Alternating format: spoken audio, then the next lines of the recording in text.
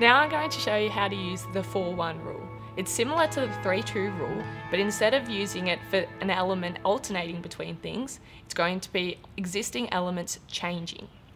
This might be again orientation, size, colour or anything. In the 4-1 rule, we'll group elements into two groups, a group of 4 and a group of 1. Now the group of 4 might be an element appears in 4 and doesn't appear in 1, or it might be one colour in 4 of them and a different colour in the other one.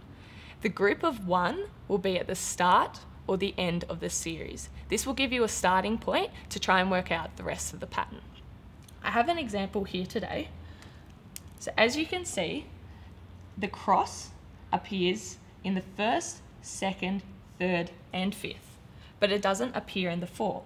That means when we group it into the two groups, the first, second, third, and fifth will be in the group of four, and the fourth will be in the group of one. Therefore, the fourth one is at the end or the start of our series. So we can place this in our order. Now, you can also see that the circle appears in the first, second, fourth, and fifth in the series, but it doesn't appear in the third.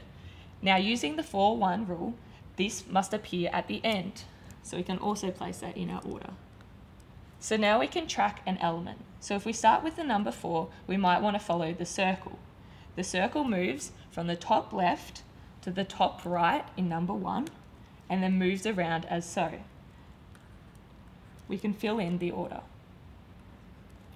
And now we can check this for the other elements and we can see that the correct order for the problem is 4, 1, 5, 2 and 3. So the solution to this question is the fifth image. Thank you for watching and be sure to check out my next video on superimposition questions.